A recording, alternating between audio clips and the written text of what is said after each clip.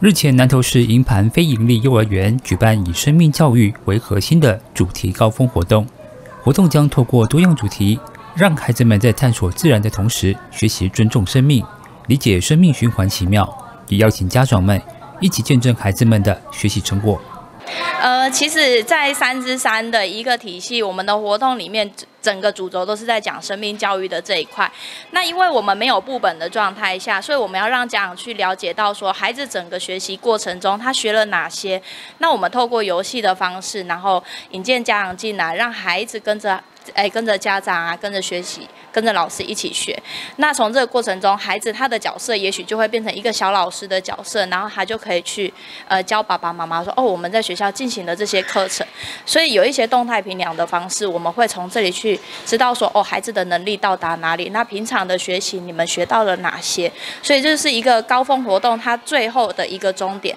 那虽然主题它最后一个活动它不是整个就停止，它是延续下一个活动的开端。对，所以，我们接下去的课程，我们像这一次走的是呃蝴蝶园的部分，所以我们接下来会营造变，我们要去设计营造蝴蝶园，然后让这个生命教育它一样是一个循环这样子。银盘国小校长江吉田表示，透过观察昆虫，让孩子们体验到生命的可贵。感谢这个非营利银盘非营利幼儿园呃今日办理的这个生命教育活动。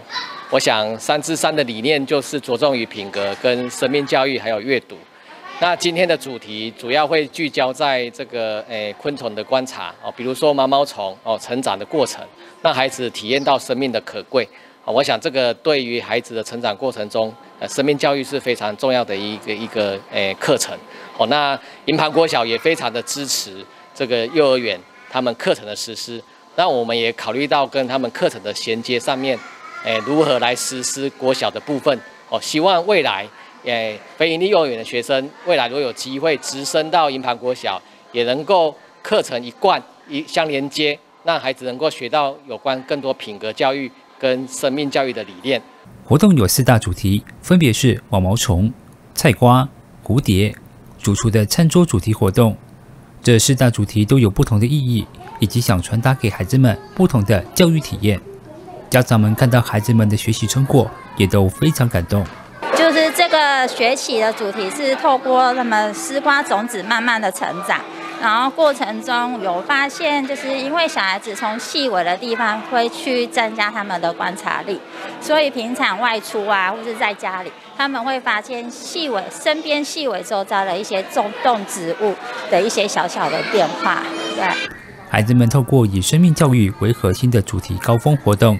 培养他们观察力和生命尊重感是非常有意义的一场活动。记者黄忠林南都市采访报道。